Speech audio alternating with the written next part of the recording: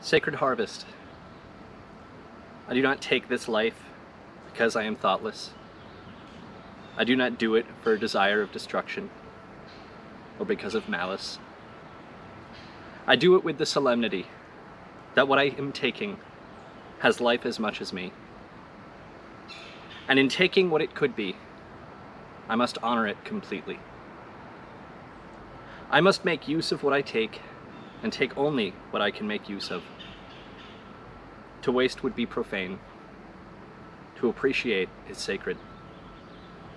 To harvest is to take with honor and give back what can be given. Sacred harvest is to be one with the world.